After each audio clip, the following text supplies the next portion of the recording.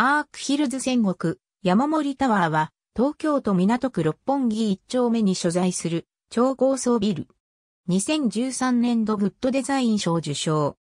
麻布グリーン会館や住宅があった地に、虎ノ門、六本木地区第一種市街地再開発事業によって、森ビルの目指すバーチカルガーデンシティのコンセプトのもと、複合用途を超高層に集積させることで地上に広場や緑地を創出させることで実現した複合超高層ビルである。総事業費は約656億円。ここには伊豆市藩戦国家の屋敷があった。当地一帯の高台は戦国山と呼ばれており、名称はそれに由来する。超高層の複合棟は3階から24階が住宅、25階から47階を事務所とした。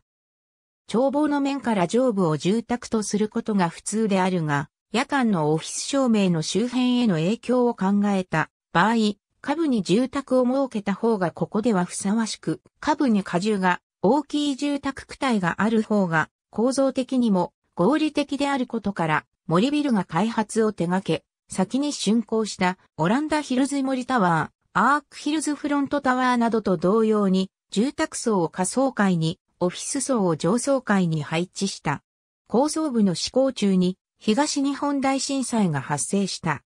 それを受け、電力不足への懸念や、企業の事業継続計画への意識が高まる中、供給への信頼性の高い都市ガス利用の非常用、発電機を2台導入したほか、構造上も精神の高強度鉄筋コンクリート作りとして耐震性能を高めた。また、回転扉に代わる安全で省エネに優れる新ゲートシステム、パスムースを開発し、セキュリティゲートとしてオフィスエントランスに採用した。敷地南側には8階建ての住宅棟であるアークヒルズ、戦国山テラス33個も建てられ、1階には新設区道である椎の木坂の道路に面して飲食店が配置されている。戦国山テラスそばには、大家焼広場があり、芝生の広場はイベントなどに利用される。また人工的な水辺、ビオトープも設け、一帯を小ゲラの庭と命名した。